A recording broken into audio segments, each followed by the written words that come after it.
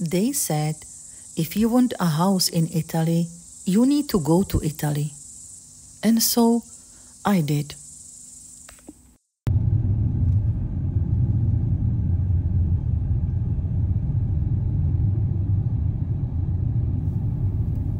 I took an incredible road trip through Italy with the goal of finding my dream house. It was an adventure filled with stunning landscapes, charming towns, and plenty of sunshine along the way. And of course, loads of good wine. In the coming weeks, I will be sharing all the exciting details from my house hunting adventure. And today, join me as we explore the Tuscan countryside specifically the municipality of Lajatico, where I discovered abandoned farmhouse on my way back from the town of Volterra.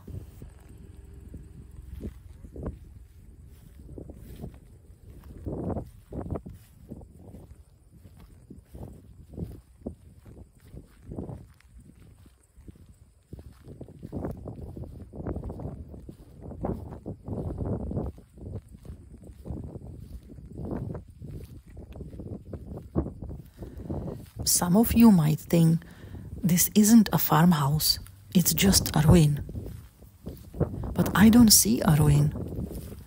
I walked through the space and I saw potential rather than just disrepair.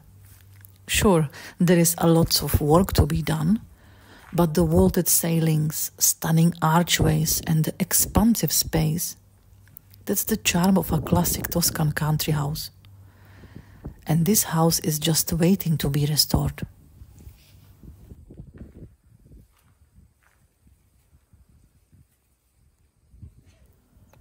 This ground floor room is absolutely massive and was previously used as an animal shelter. With some renovation, it has the potential to be transformed into a self contained unit. It's connected to another large room with high ceilings and plenty of natural light, which could make for a fantastic bed and breakfast space. As I said, there is lots of potential, but let me know what do you think?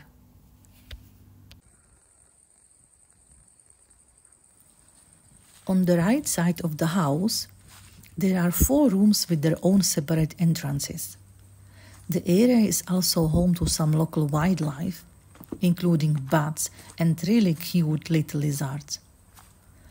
But the wind added a bit of creepy atmosphere, I have to say, and being alone did not help the feeling. I decided to stay clear of the darker rooms because my imagination was running wild, and I don't know what I was thinking. Maybe a zombie will jump out at me? I do regret not exploring those rooms, but there is nothing I can do about it now.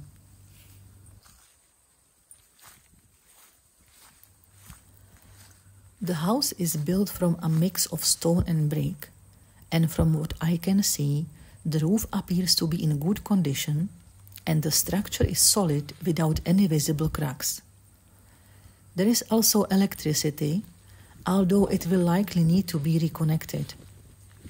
On either side of the property, there are two outbuildings. These could either be restored or removed to create an open space for an outdoor barbecue area or a charming little garden. The real highlight of this property, though, is the surrounding hills and the stunning views that make Tuscany so famous.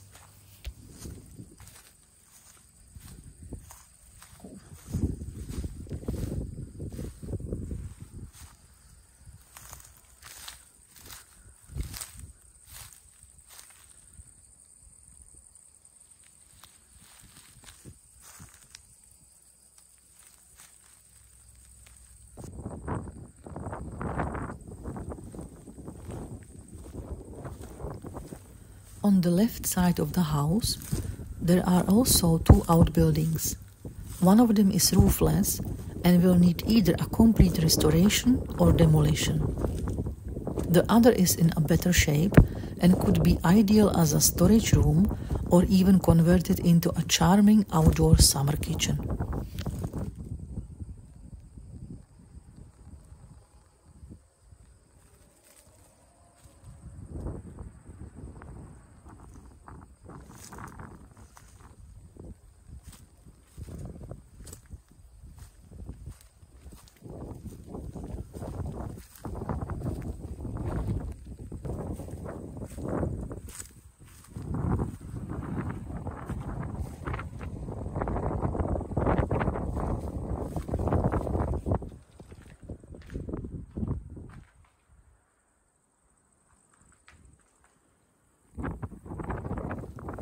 At the back of the house, you will find an independent entrance to the first floor, accessible via a set of stone stairs. Under these stairs, there is a quiet alcove which features charming little windows. The road is down the small hill visible from this spot, although it's partly concealed by the lush overgrown bushes. The whole area around the house can be transformed into a lush green garden to make it livable.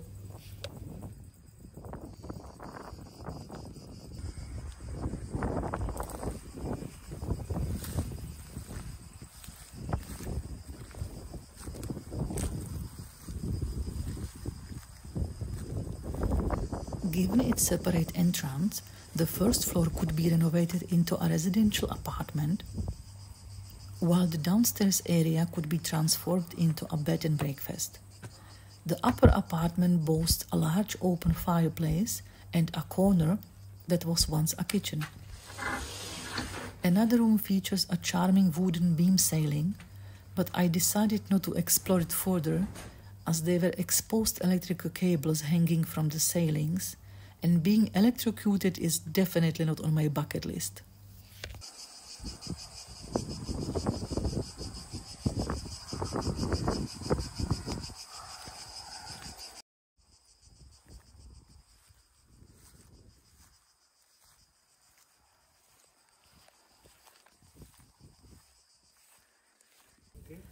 In front of the house, there is quite a deep water well.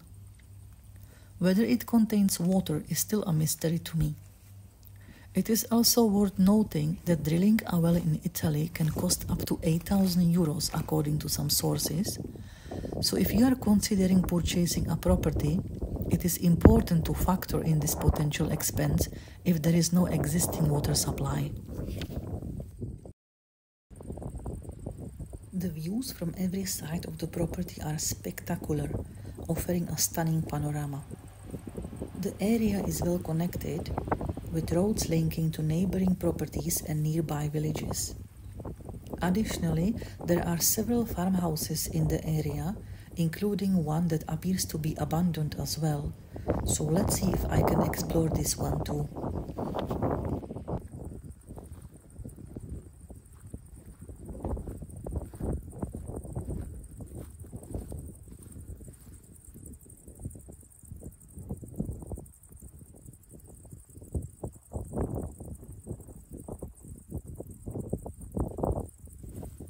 You can view the property's location, neighboring houses, and connecting roads on this map.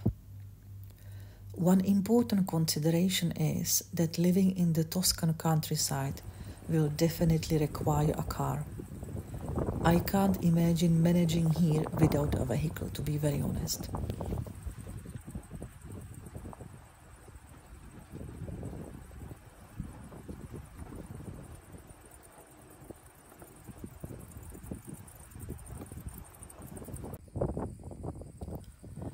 As I approached the neighboring property, it became evident that this too is an empty house, likely in need of a new owner and some renovation work. It is situated just a short distance from the abandoned house. Additionally, directly across the way is another impressive residence, more like a palace than a typical house, and I am not sure if this is occupied or not, but this property seems to be well maintained. It could be quite nice to have some nearby neighbors, even in such a remote area.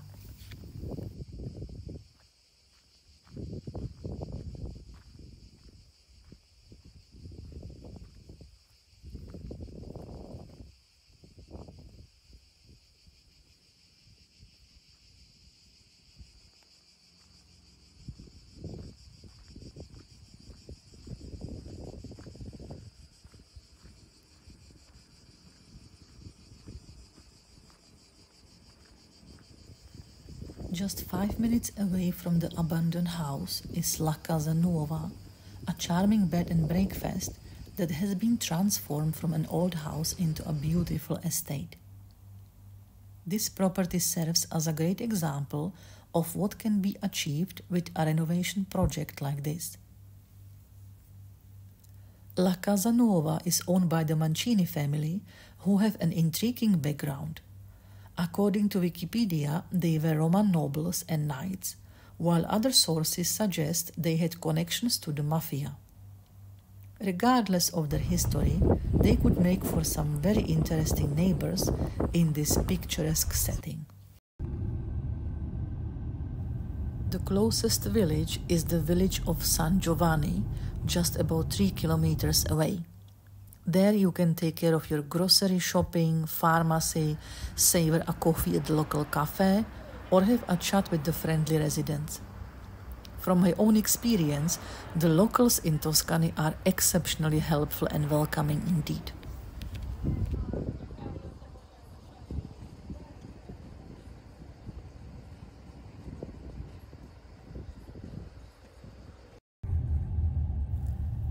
Municipality of Lajatico is located in the province of Pisa.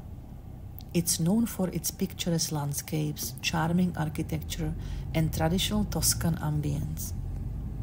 One notable feature of Lajatico is its cultural heritage and historical significance. The town is famous for its association with the Italian tenor Andrea Bocelli, who was born in the region.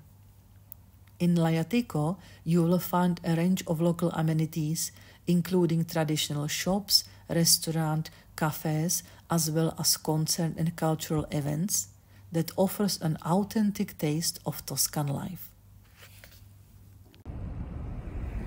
Now, you might be wondering about the cost involved. How much does a property in Tuscan countryside typically cost?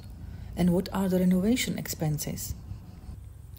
Is it wise to buy a fixer upper or a move in ready home? Here are some examples to help you evaluate your options. A similar property in the area, although in better condition but requiring some renovation work, would cost around 140,000 euros, approximately 152,000 US dollars. This two story house features 12 rooms with private access and a large garden. With some updates, it has the potential to be transformed into a charming bed and breakfast. If a renovation project isn't for you, there is a stunning apartment in the municipality of Lajatico available for 145,000 euros, which is about 158,000 US dollars. Located in the heart of a medieval village, this move in ready rustic home features six rooms and three bathrooms, showcasing classic Tuscan elements such as a stone fireplace and wooden beam ceilings. It's tastefully designed, offering both charm and comfort. If you are curious about the cost of a move in ready farmhouse in the Lajatico area of the Tuscan countryside, you should budget around 400,000 euros, approximately 437,000 US dollars. With 10 rooms, such a property could easily be transformed into a charming bed and breakfast, offering the potential for additional income. One crucial factor when relocating to a new country is proximity to an international airport. The abandoned house and its neighboring properties are just over an hour's drive from Florence Airport. Florence, the capital of the Tuscany region, is renowned for its Renaissance art and architecture and has a vibrant population of approximately 712,000 residents. Alternatively, you can also use Pisa International Airport, located in the city famous for its iconic leaning tower. This abandoned house I am so intrigued about is a bit of a mystery. I don't know the price yet. To find out, I will need to contact the agency I have discovered and request more details. I would love to hear your thoughts. Do you think it's worth digging deeper to uncover the price, or should I just continue my search? Please share your ideas and opinions in the comments, and thanks for watching today's episode.